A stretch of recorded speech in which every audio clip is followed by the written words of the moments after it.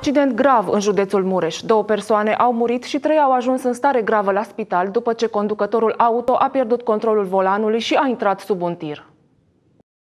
Accidentul s-a produs pe drumul între Ungheni și Acățar din județul Mureș. Șoferul vinovat de producerea accidentului a pierdut controlul volanului într-o curbă și a intrat pe contrasens, unde a lovit frontal un tir care circula regulamentar. În urma impactului, șoferul autoturismului și unul dintre pasageri au murit, iar alți trei pasageri au fost grav răniți. Un alt șofer a ajuns în șanț după ce a evitat în ultima clipă cele două vehicule implicate în accident. Conducătorul autoutilitarei, un tânăr de 30 de ani din Covasna, a scăpat cu răni ușoare.